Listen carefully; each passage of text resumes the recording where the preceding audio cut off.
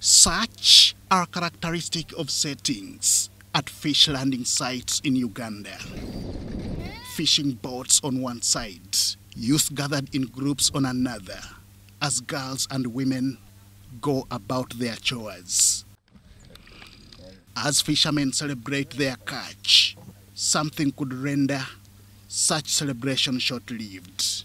Here at Kagwara landing site, in the Teso district of Serere in eastern Uganda, HIV AIDS is still a challenge. The situation of HIV, as we talk now, it has, it has lowered compared to those early days because people have achieved trainings, they have achieved, they, have, they know what, they know what HIV brings. It is partly blamed on reckless lifestyles by the youth.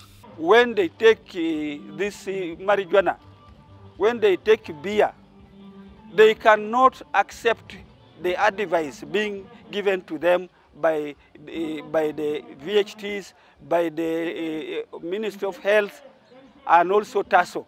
43-year-old Jane Akol Anero is an HIV AIDS counselor who is also a victim. She has lived with the virus for the last 18 years. Living positively, she doesn't wish any other person to fit in her shoes. Auntie, I used to, to swallow my drugs well. I used to keep my time. I used to stay safe with only one person. The president of Uganda recently emphasized prevention as one of the most effective measures in fighting HIV AIDS. And the reason for uh, avoidance being the best solution is that if you get infected, even when we put you on these treatments, there are certain activities which need a lot of physical exertion which you may not manage. Like, for instance, I army work, joining the army.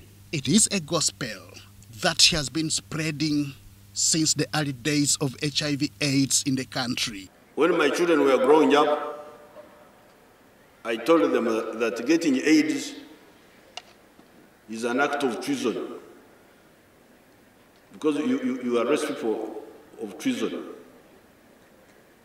If somebody is committing treason, you arrest him. So getting AIDS is an act of treason.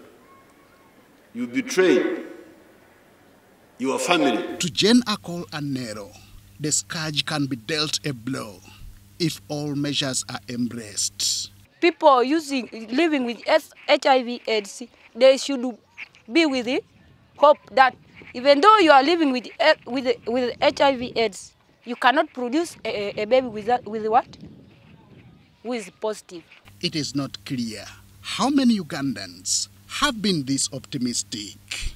What is open for all to see is that the country is on course to end HIV AIDS by 2030. Henry Okrut, UBC.